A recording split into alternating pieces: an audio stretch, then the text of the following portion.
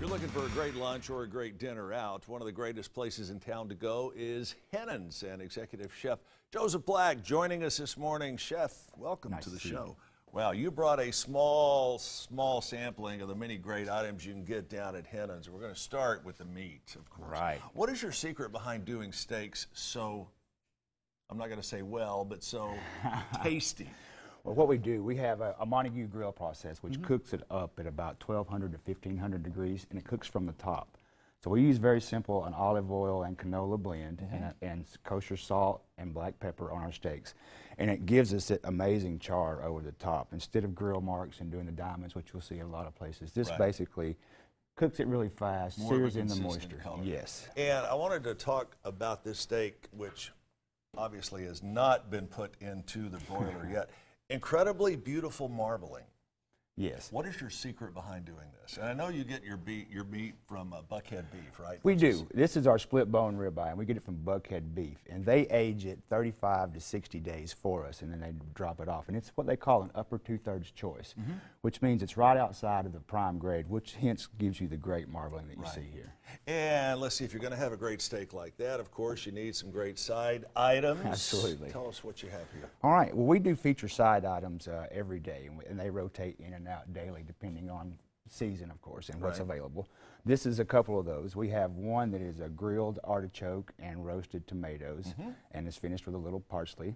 This is our fall vegetables, which we call, and it has a little bit of everything. It has some butternut squash, Mm-hmm. some parsnips, some carrots, and a little bit of arugula to finish it off with. It's cooked with a little butter and salt and pepper. Yeah, that's all you need. yeah, yeah, that's some good stuff. Now, before we get into the desserts, let's talk about seafood. You got an outrageously huge seafood uh, Yeah. choice as well. Well, we do a little bit from local as well. We do some Carolina trout, and we try to incorporate it a couple of different ways. We Right. run a couple of different features every week, and it's usually we'll incorporate something from the Atlantic, something from the local um, seafood places we, ha- we have.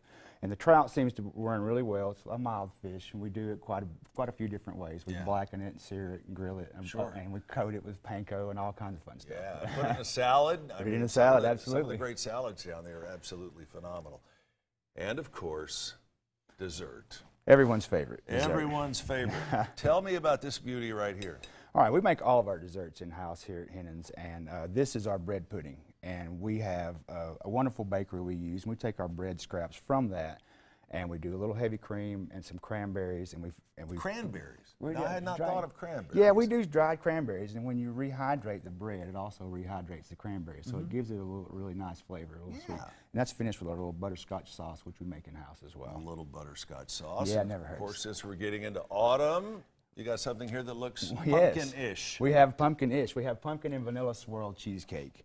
And we have uh, seasonal cheesecakes, and they vary from time to time. Generally speaking, we'll run them for about a week, and then we'll try and change it up based on seasoning. And Hennen's has been open for how long now? 12 years. 12 years. And you were the chef that first started. Originally, Hennen's. yes. Uh-huh. We, uh, we opened 12 years ago, and it was uh, quite a project. And it was, Yeah.